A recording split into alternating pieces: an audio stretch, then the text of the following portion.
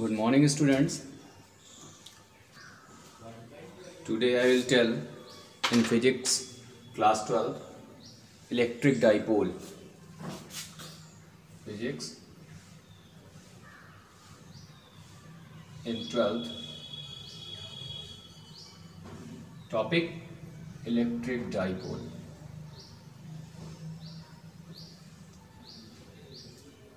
देखिए electric dipole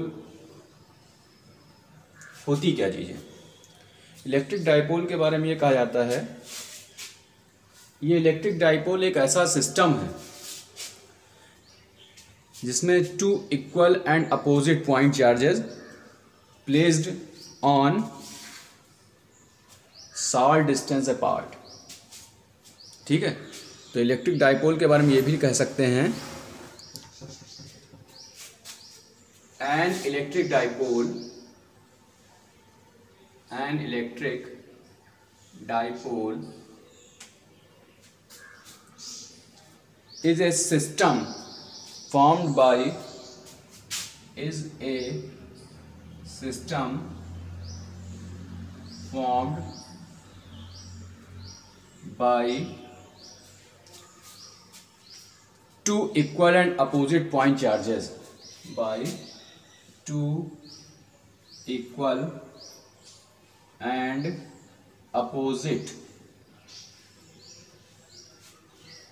point charges at a short distance ठीक है? Charges placed at a charges placed at a short distance ठीक है? अब इसको हम फिगर में दिखा सकते हैं कैसे। ये देख लीजिए। ये दो चार्जेस हैं। ठीक है? और इसमें एक कहा गया है। और ये दोनों बी इक्वी डिस्टेंस पे हैं यहाँ से।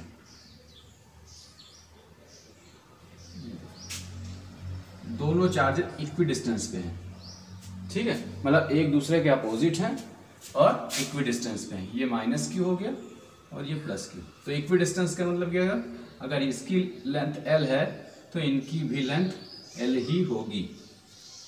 ठीक है? तो यहाँ पे देखिए, ये पूरा एक डाइपोल हो गया। ठीक? डाइपोल का मतलब हो गया ऐसा सिस्टम जिसमें दो पोल्स हों। ठीक है? ऐसा सिस्टम जिसमें दो पोल्स हों। ठीक है? तो यहाँ पे आपका क्या हो गया? P इज़ इक्वल टू तो Q हो गया इंटू एल के बराबर। तो आपका इलेक्ट्रिक डाइपोल हो गया P is equal to two Q L ठीक है? अब ये अलग अलग तरीके से, ठीक है? इनकी इलेक्ट्रिक फ़ील्ड जो है, ये डाइपोल में अलग अलग पोजीशन से क्रिएट होती है। ठीक है? जैसे दो पोजीशन होती हैं, ठीक है? दो पोजीशन कौन कौन सी होती है? There are two positions there are two positions.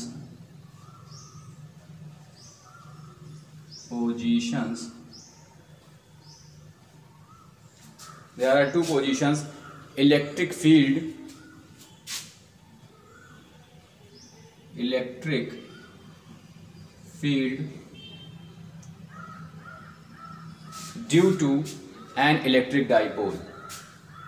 Electric field due to an electric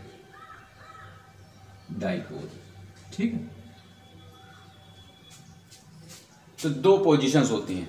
एक होती है आपका इंड ऑन पोजीशन क्या होता है, ये हमें बताएँगे। इंड ऑन पोजीशन और नंबर टू होता है broadside on position broadside on position ठीक है? तो हम पहले इंड ऑन पोजीशन लेके चलते हैं। देखिए इंड ऑन पोजीशन होती क्या चीज़ है? ठीक है? देख लीजिए। तो पहले हम इंड ऑन पोजीशन लेके चलेंगे। तो फ़र्स्ट है end on position end on position का मतलब है इंटेंसिटी ऑफ़ इलेक्ट्रिक फ़ील्ड की एक ऐसी पोजीशन जहाँ पे इंटेंसिटी उसकी खत्म हो जाती हो। ठीक है? वो देख लीजिए। जैसा कि हमने बताया, फिर डाइपोल बनाते हैं। ठीक है? माइनस क्यू और ये प्लस क्यू ठीक है? और ये दोनों इक्वी डिस्टेंस पे हैं। ये देखिए। ठीक? इक्वी डिस्टेंस पे हैं मीन्स ये आपका एल हो गया तो ये भी आपका एल ही होगा। और इनकी इंटेंसिटी ठीक है? इनकी इंटेंसिटी जो है, एक पॉइंट पी है कुछ दूरी पे। आफ्टर सम डिस्टेंस कुछ दूरी पे एक पॉइंट पी है, वहाँ तक जाती है। ठीक है? तो सीधी सी बात है इंटेंसिटी दोनों तरफ़ काम करेगी। ये एक पॉइंट हो गया इंटेंसिटी दोनों तरफ़ काम करेगी। फॉरवर्ड भी जाएगी और बैकवर्ड भी जाएगी। अगर फॉरवर्ड जाती है तो ये इवन हो जाती है और बैकवर्ड आती है तो ये ई टू हो जाती है।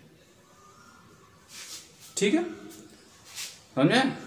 अब बैकवर्ड आने पे, ये जो इन पोजीशन है इन पोजीशन इसी को तो कहते हैं इन पोजीशन से जो इसका मिड है, ठीक है? इस डाइपोल का मिड है उसकी डिस्टेंस आप आर मान लीजिए, ये ये मिड है ना? और यहाँ तक इसकी इंड पोजीशन है इंटेंसिटी की पी इसको आप आर ले लीजिए। ठीक? ये आपका आर हो गया। और ये तो जानते ही हैं, इसको भी यहाँ पे पी ले लीजिए। ठीक है? तो ईवन की वैल्यू क्या हो जाएगी? देखिए, अगर जब ईवन की वैल्यू आप निकालेंगे ईवन की वैल्यू निकालेंगे तो आर में से एल आपका माइनस हो जाएगा। क्यों? क्योंकि ईवन अलग जा रहा है। देखिए ईवन इस आर से अलग निकल रहा है। ठीक? तो एल की ही डिस्टेंस के बराबर। ये जो डिस्टेंस ये जो इंटेंसिटी पैदा होती है तो ये भी मिड पॉइंट से दोनों तरफ़ एल से ही तरफ़ जाती है। ये। मतलब जितना इधर जाएगी, उतना ही उधर जाएगी। तो ईवन की वैल्यू क्या हो जाएगी? ठीक है? Intensity of electric field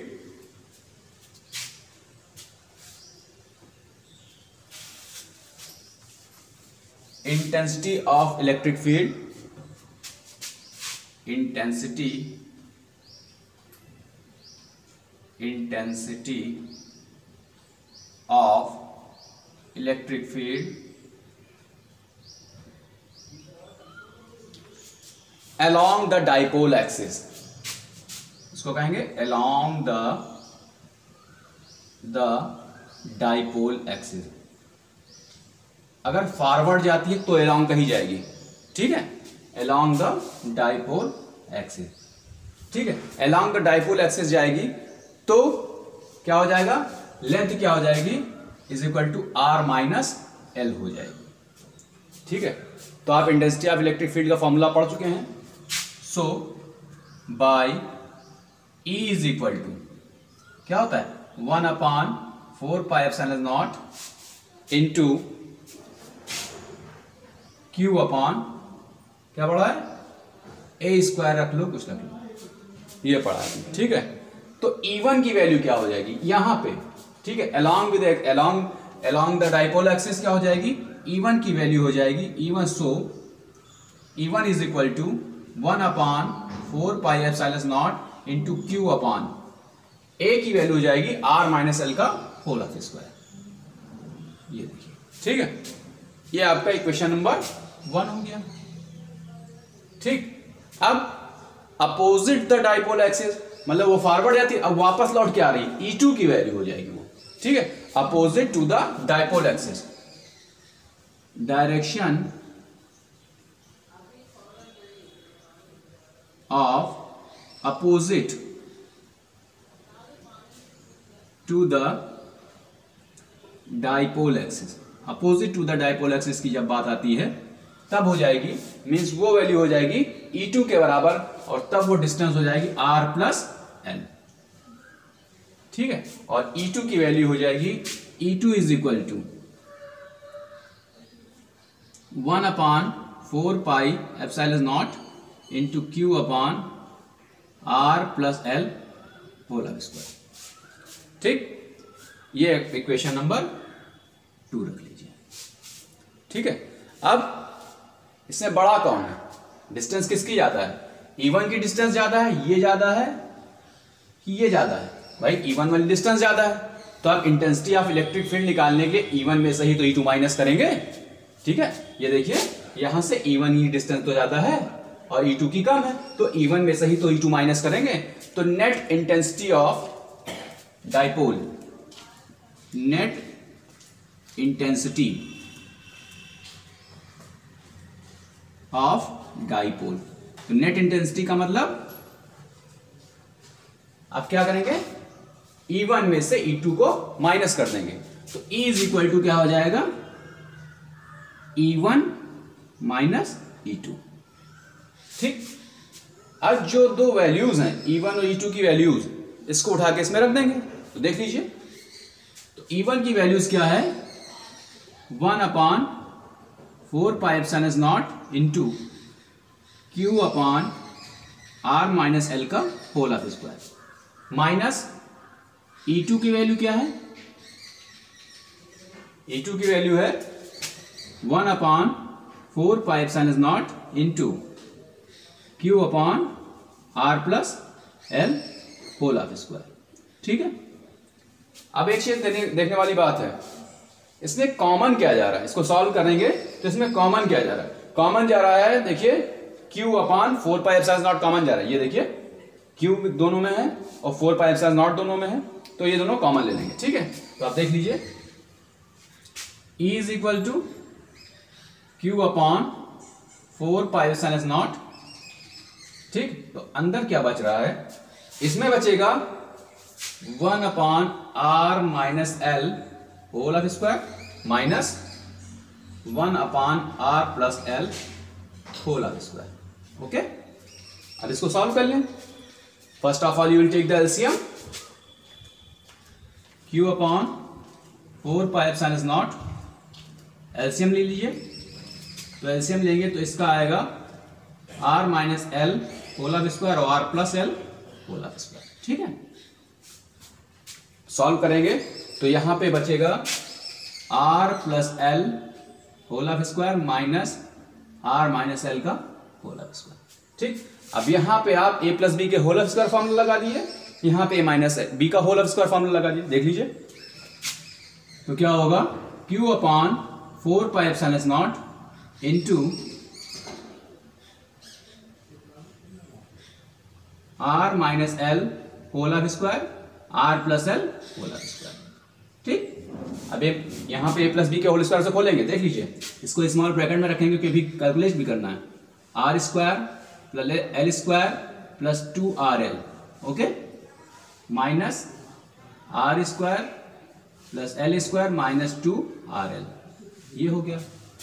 अब ऊपर वाला ब्रैकेट ओपन कर लें, ठीक है? देख लीजिए। Q is equal to four pi R minus L whole square R plus L whole square ये हो गया। अब इसको ओपन करेंगे।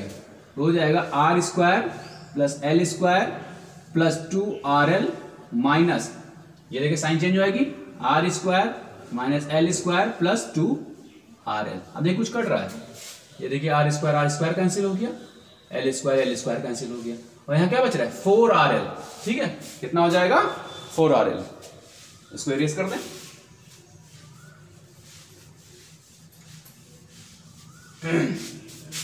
तो क्या मिल गया आपके पास? E is equal to Q upon four pi sinus naught into ये क्या हो गया? Four R L four R L upon R minus L whole of square और R plus L whole of square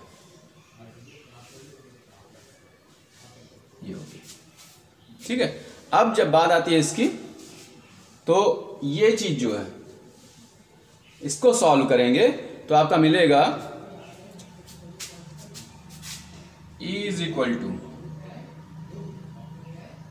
one upon four pi epsilon naught two into two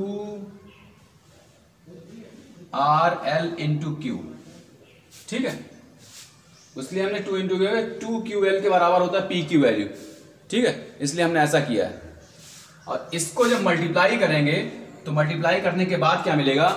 इसको आप calculate कर लीजिएगा। मिलेगा R square minus L square हाँ whole R square इसको calculate करने के बाद मिलेगा। ठीक है? अब देखिए। E is equal to one upon four pi sign is naught into two Q L एक साथ कर लिया। ठीक है? Two Q L into two R. ठीक है? Into two R. ठीक है? अब इसकी वैल्यू जो हो जाएगी R square minus L square या आप इट इज़ रख देंगे। R square minus L square का होल आर स्क्वायर अब इसकी वैल्यू जो है, आप जानते हैं पी के बराबर होती है। तो ई इज़ इक्वल टू मिल गया आपको वन अपान यहाँ पे लिख दें। If P is equal to two Q L. ठीक? तो one upon four pi epsilon naught into P into two R upon R square minus L square whole R square तो ई की value मिल जाएगी आपको। देख लीजिए। E is equal to one upon four pi epsilon naught two P R upon R square minus L square whole R square अब एक चीज़ देखिए, आपको निकालना क्या है? इंटेंसिटी ऑफ़ ईच पोल मतलब एक पोल की इंटेंसिटी आपको निकल जाए, ठीक है? तो एक पोल की इंटेंसिटी आपकी यहाँ से निकाल देंगे। इंटेंसिटी फ्रॉम पॉजिटिव ठीक है? एक पोल से निकाल देंगे। तो एल की वैल्यू अब देखिए यहाँ पे एल की वैल्यू खत्म हो जा रही है। यहाँ देखिए एल की वैल्यू खत्म जा रही है, ठीक है? तो इंटेंसिटी निकालनी है तो इसका करें? एल विल बी निग्लेक्टेड ठीक है? तो intensity of intensity of each pole so L is equal to neglect neglect हो जाएगी। मतलब एल खत्म हो जाएगा। तब क्या बचेगा? E is equal to one upon four pi epsilon naught into two P R sorry two P R upon R power four हो जाएगी। ठीक है? अब देखिए, कुछ कट रहा है। ये देखिए, इसको यहाँ से आर काटेंगे, आर क्यूब बच जाएगा तो क्या मिल जाएगा? E is equal to one upon four pi epsilon naught into two P upon R cube ये आपका एंड ऑन पोजीशन हो गया। ठीक है? अब इसके बाद है एक broad broad side on position इसको इसको इक्वेटोरियल भी कहते हैं। ठीक है? देख लिया ब्रॉड साइड ऑन पोजीशन कैसे होती है? ये क्लियर हो गया आपका? देख लीजिए।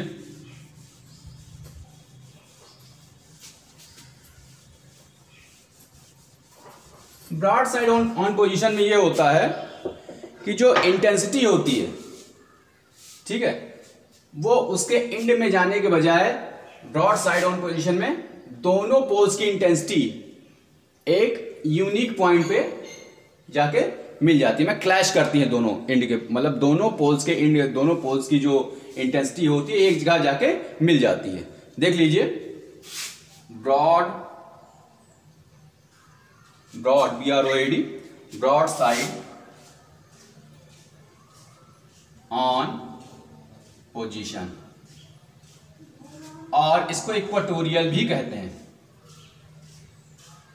ठीक है? अब ये कैसे होती है?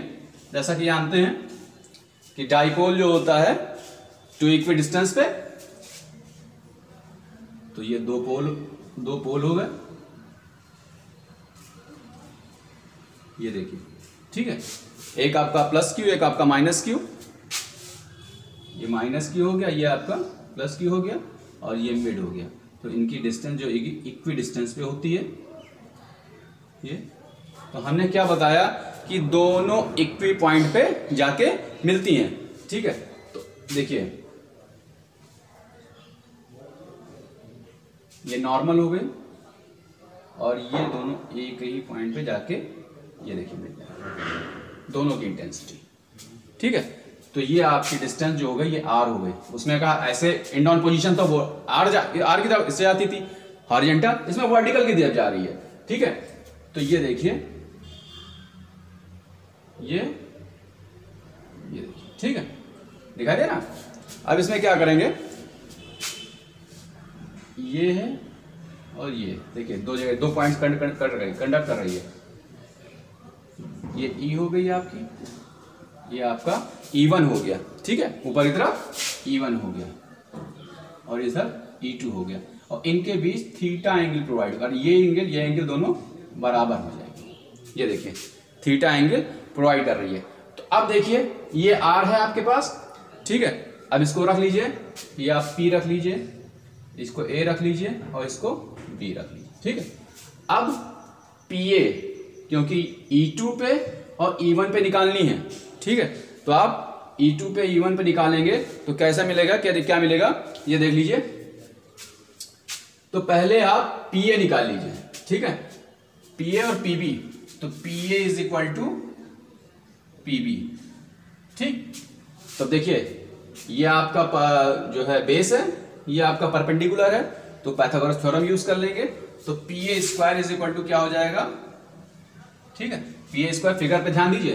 P A square is equal to R square plus L square ये हो गया। तो पी ए की वैल्यू जो हो जाएगी is equal to root R square plus L square ये हो गया।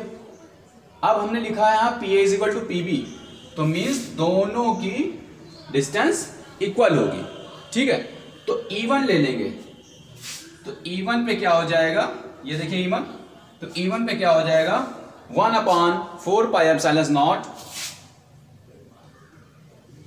ठीक है? इनटू बताने की ज़रूरत है नहीं। ये क्या होता है? ई e की इंटेंसिटी ऑफ़ इलेक्ट्रिक फ़ील्ड का फॉर्मूला होता है। तो Q Q अपॉन वहाँ पे हमने ए स्क्वायर बताया था और यहाँ पे हो जाएगा root r square plus l square का होल ऑफ़ स्क्वायर हो जाएगा। ठीक है? अब इसको सॉल्व करेंगे। E one is equal to one upon four pi epsilon not into q upon r square plus l square इस power one upon two into two हो जाएगी। ये ये कट गया। तो ई वन की वैल्यू आ गई is equal to one upon four pi epsilon not into q upon r square plus l square अब चीज़, एक चीज़ देखने वाली बात है। ई वन पे इसकी वैल्यू आपकी r square plus l square आई है तो इसकी वैल्यू भी r square root plus l square होगी। ठीक है? ये ई वन की आ गई। E2 की वैल्यू कैसे निकालें? E2 की वैल्यू भी सेम हो जाएगी, क्योंकि दोनों की इंटेंसिटी की डिस्टेंस सेम है। तो E2 इज़ इक्वल टू क्या हो जाएगी? ये आपका plus q at plus q charge ठीक है? प्लस क्यू इसको लिख देंगे अवे अवे ठीक है? और ये हो जाएगा E2 की वैल्यू हो जाएगी one upon four pi epsilon is not into q upon r square plus l square ठीक है? At towards minus q. ठीक? अब बात यह आती है, अब देखिए यहाँ पे थीटा एंगल प्रोवाइड हो रही है।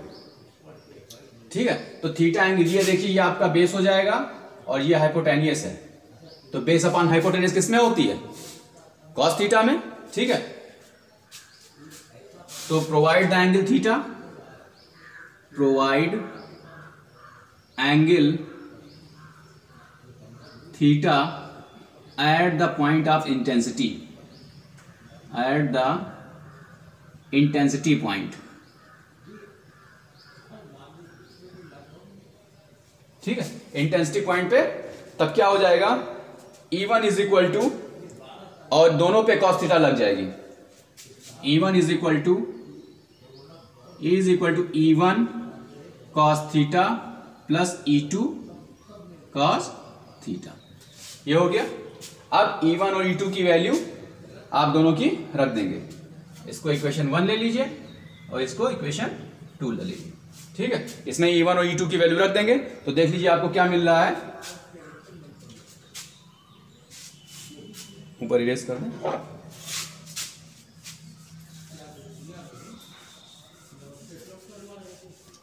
ई इज़ इक्वल टू हो जाएगा ई e वन की value one upon four pi epsilon is not into q upon r square plus l square cos theta plus ठीक one upon four pi epsilon not into q upon r square plus l square cos theta okay ये पूरा add हो जाएगा, देखिए। E is equal to ये आया तो ये पूरा ऐड हो जाएगा। ऐड होने के बाद हमें मिलेगा क्या? ई इज़ इक्वल टू पहले तो एक काम करेंगे। इसमें आप Q upon four pi epsilon not common ले लीजिए। ठीक है? इसको ऐड करेंगे तो देखिए क्या मिलेगा। E is equal to two one upon four pi epsilon not into q upon r square plus l square cos theta. ठीक है? तो इसकी वैल्यू हो जाएगी, ये कॉस टू को इसको कॉस थीटा के साथ कर देंगे तो E is equal to one upon four pi epsilon not into q upon r square plus l square two cos theta ठीक? एक चीज़ हो गई। अब कॉस थीटा की वैल्यू फाइंड करेंगे। कॉस थीटा की वैल्यू फाइंड करेंगे कैसे फाइंड फाइंड करेंगे, ये देख लीजिए। तो आप जानते हैं cos theta is equal to base upon hypotenuse होता है।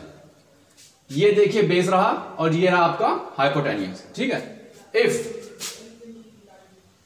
cos theta is equal to base upon hypotenuse l upon root l upon root r square plus l square ठीक है? अब इसको हम रूट हटाएँगे तो ये भी तो लिख सकते हैं। L upon root r square plus l square power one upon ये भी कर सकते हैं। अब इस कॉस थीटा को यहाँ पे कॉस थीटा की वैल्यू इसमें रख देंगे। तो इसको इक्वेशन नंबर थ्री मान लेते हैं। ठीक है? तो लिखेंगे put the value of cos theta in equation number three put the value of cos theta in equation three अब इसमें रख देंगे, ये कॉस थीटा की वैल्यू यहाँ पे रख देंगे, यहाँ पे कॉस थीटा लिखा हुआ, ये रख देंगे, देखिए। Is equal to one upon four pi epsilon is not into q upon r square plus l square into two l ये देखिए upon r square plus l square power one upon two अब देखिए, ऊपर multiply इसको करेंगे तो two Q L मिल रहा है। और इसको मल्टीप्लाई करो तो जानते हैं ये पावर यहाँ पे वन लगी हुई है। इस पे जो है पावर वन लगी हुई है और यहाँ पे वन अपॉन टू लगी हुई है। तो जब जानते हैं मल्टीप्लाई होता है तो पावर्स प्लस हो जाती हैं। तो देख लीजिए is equal to one upon four pi epsilon not into two q l upon r square plus l square one plus one upon ये हो गया। अब इसके बाद सॉल्व करेंगे तो E is equal to one upon four pi epsilon is not into two two q l r square plus l square power three upon two ठीक है? अब एक चीज़ और, यहाँ पे भी L निग्लेक्ट हो जाएगा। ठीक है? तो लिखें if L is equal to neglect neglect क्यों होगा? इससे पहले हम बता चुके हैं। ठीक है? एक पॉइंट पे निकालना इंटेंसिटी ऑफ़ ईच पॉइंट निकालेंगे तो एल की वैल्यू गायब हो जाएगी क्योंकि इसी पोल पे निकालना है, ठीक है? तो एल की वैल्यू निगलेक्ट हो जाएगी। तब क्या हो जाएगा? E is equal to one upon four pi size not into two q l upon neglect हो जाने पे r square power three upon two देखिए एल खत्म तो r square power three upon two अब देखिए ये टू और ये टू आपका कैंसिल हो जाएगा। तो E इज़ इक्वल टू क्या हो गया? One upon four pi epsilon not into इसकी वैल्यू P हो जाएगी। तो P अपॉन आर क्यू और यहाँ लिख देंगे if P is equal to two q l ये आपकी intensity at the equatorial okay clear thank you